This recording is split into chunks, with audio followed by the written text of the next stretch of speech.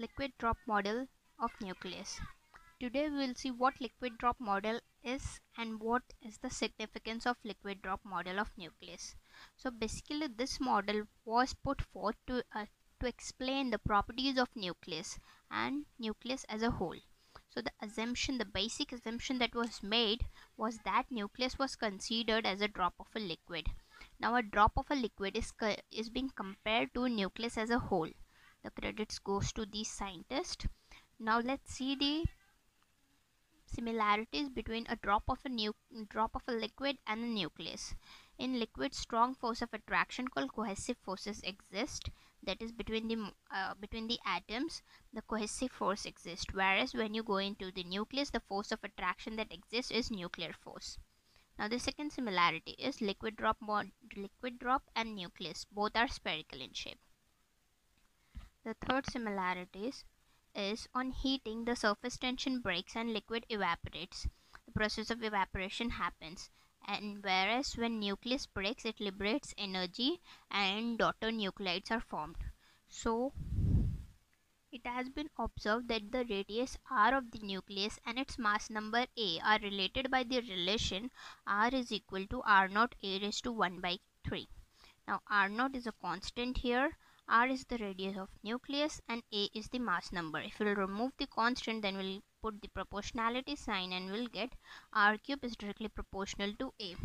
This shows that the nuclear volume and mass have a constant ratio. And we'll move to the second point that is the density of nucleus is constant and is independent of size. Similarly, when you will see in the liquid drop, there also the density of liquid drop is constant and it is independent of size. The fission reaction of liquid drop and nucleus goes like this. Nucleus, a parent nuclide breaks giving two daughter nuclides. Similarly, a liquid drop breaks giving tiny droplets. Now this theory simply uh, aims at explaining the various properties of a nucleus. So let's see whether this theory was capable of put uh, cap capable of explaining what it wanted to. So there were various success and also limitations of this theory. Let's see them one by one. So when we'll ask about success, then success, the first success is it explains the phenomenon of fission as we have seen earlier also, it successfully explained accurate cross sections of a resonance reaction.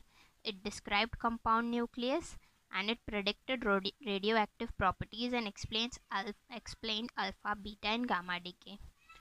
So, scientists got uh, a brief uh, got some idea after studying uh, after studying this theory that is the liquid drop model of nucleus. Now let's see the limitations. The limitations were it neglected the motions of individual nucleons. Since as i told it was just focusing on the nucleus as a whole the individual nucleons were neglected in this theory. The second limitation was it was unable to explain enhanced binding energy of even Z and even N nuclides, which we call as magic number effect. Third, it ignores nuclear spin, parity, magnetic moment effect. So these were some things that this theory was unable to explain and thus they are counted in its limitations.